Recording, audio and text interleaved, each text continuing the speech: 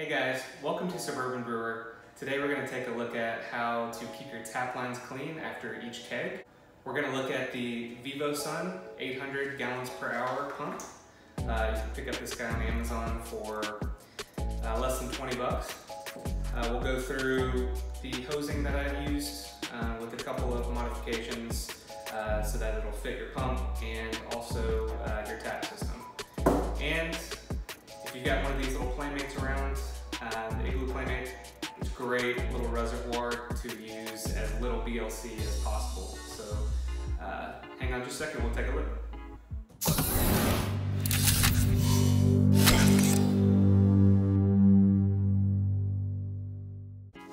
So I just picked this VivoSun up off of Amazon the other day. Uh, I think it was on their lightning deal for 18 bucks. This is a great little submersible pump that we can use to circulate our, our BLC um, cleaner.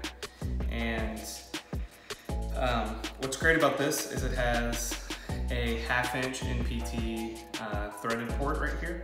So, you know, a lot of our homebrew fittings actually um, are already half inch NPT, so that's it's a great conversion. What's cool is it has these little plunger feet. So um, you can mount this into the bottom of any uh, your any reservoir, your bucket, your cooler, um, what have you, and basically this guy's just gonna stay put. The details on this hose is um, carbonation cap. This one, I believe, um, I think Faraday makes this on Amazon. Uh, you can you can get one of these guys for maybe uh, I believe from 12 to 15 bucks. And this hose is actually um, it's 5 16ths. Um, if you have any of those floating dip tubes, you probably already have some of this laying around. Um, this is just the, the typical barb size for pretty much all the carbonation caps. Uh, so 5 16ths hose, and I had to pick up a barb that is 5 16ths to half inch um, because of the half inch barb uh, uh, to NPT fitting here. So I had a little little bitty run of half inch um, hose just laying around to kind of bridge that gap. So um, in all honesty, you could pick up a half inch NPT uh, connection to 5 16ths barb, but I looked, they're, they're kind of hard to find, they're kind of few and far between. So I will post the links to all of these parts so you can build this yourself. You'll notice I have my Grainfather uh, counterflow chiller here. Uh, what's great is there's one uh, little little connection that you can use to uh, make a pre-chiller for your for your counterflow chiller. So, you know, uh, if you're like me, you live in Texas, um, the groundwater might be 80, 85 degrees. So to get your water very cold coming out, um, initially, you'll want to do kind of a pre-chiller setup.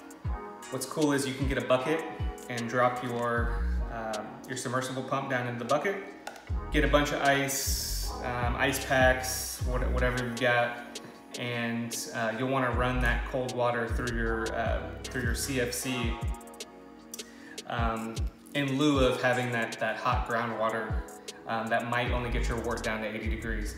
So this is a great tool.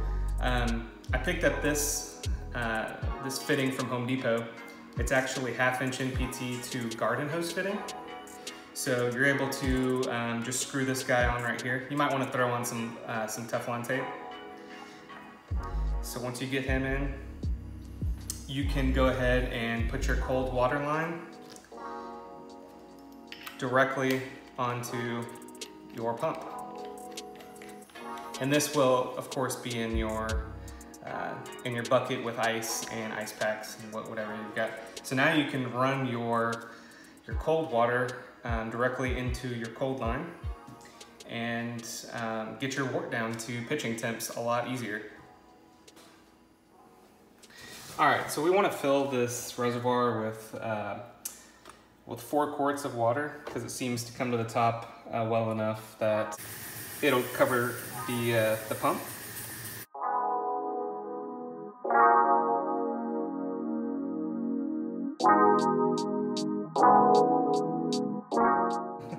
Ahead and take our BLC solution and we'll add our two ounces. So the dilution rate is half an ounce per quart. That'll do it. Go ahead and add it.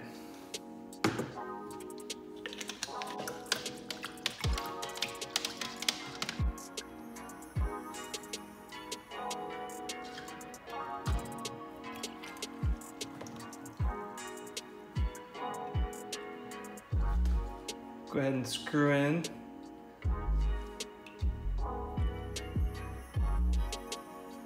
You kind of just want to get it hand tight and not really um, exceed that because you don't want to um, to damage those those threads. All right, as you notice, so I'm going to plug in um, my carbonation cap right up to my tap system. I'm going to open my second set and let's go ahead and get her plugged in.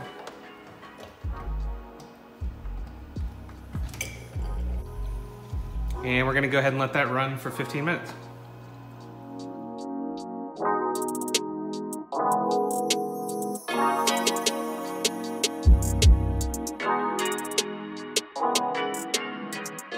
Hey guys, thanks for tuning in today.